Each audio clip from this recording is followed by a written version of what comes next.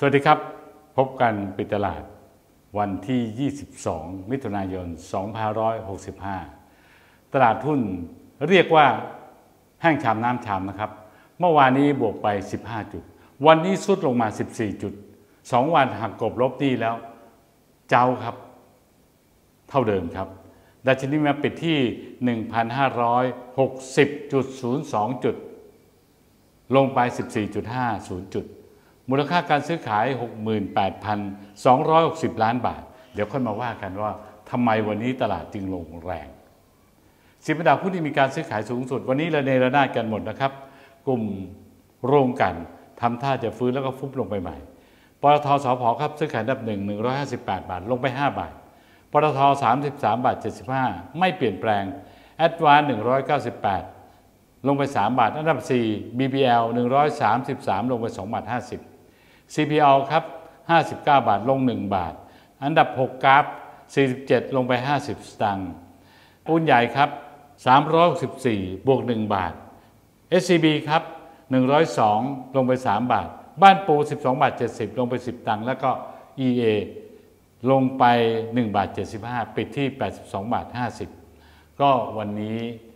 ลงกันหมดนะครับ รวมทั้งกลุ่มโรงไฟฟ้าด้วย ก็หนักกันไม่แทบจะหาตัวบวกยากนะ10อันดับ 20 อันดับหุ้นที่มีการซื้อขายสูงสุด ส่วนหุ้นที่สวนทางตลาดขึ้นมา เป็นวันที่สองนะครับที่ร้อนก็คือ JTS Jasmine Technology Solution วันนี้ทีแรกรู้สึกจะบวกไปซีริ่งเหมือนกันนะครับ แล้วก็อ่อนตัวลงมา มาปิดที่ 1 บาท154 บาท 50สตางค์บวก 19 บาท 50สตางค์ 14.44%ครับ โอ้ เจ้ามือมาแล้ว กลับมาไล่หุ้น แต่รายย่อยต้องย้ำอีกทีนะ อย่าตามนะครับ อย่าตามแห่เข้าไป เลิกเล่นเมื่อไหร่ ไม่รู้ เลิกแล้วหนีไม่ทันเจ็บ มาดูตลาดวันนี้ที่ลงสาเหตุสำคัญนะครับ เกี่ยวกับดาวโจนส์ครับ แม้ว่าเมื่อคืนนี้ดาวโจนส์จะบวกถึง 641 จุด แต่ future ดาวโจนส์เนี่ยลง ล่าสุดนี่ลงไปเกือบ 400 จุดครับ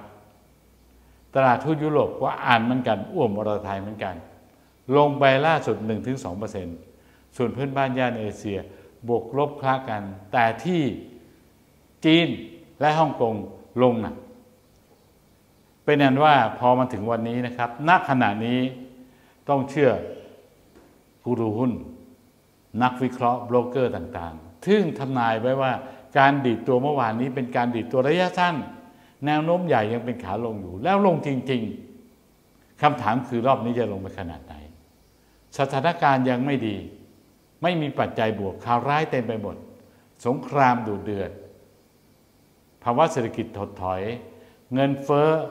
สูงเป็นประวัติการชั่วโลก อัตราดอกเบี้ยเป็นแนวโน้มขาขึ้นเต็มตัว ผลประกอบการบริษัทจดทะเบียนไม่น่าจะดีนะัก